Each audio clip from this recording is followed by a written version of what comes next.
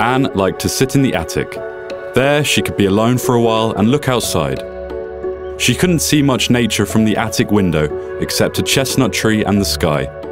But, wrote Anne, As long as this still exists, I thought, and I am allowed to experience it, this sunshine, that sky without a cloud in sight, for as long as that, I cannot be sad.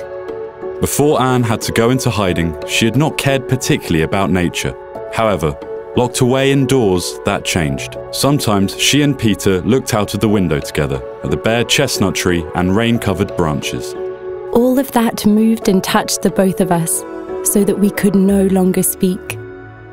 Anne wrote that anyone who is frightened, lonely, or unhappy should go outside. Only then does one sense that everything is as it should be, and that God wants to see people happy in nature.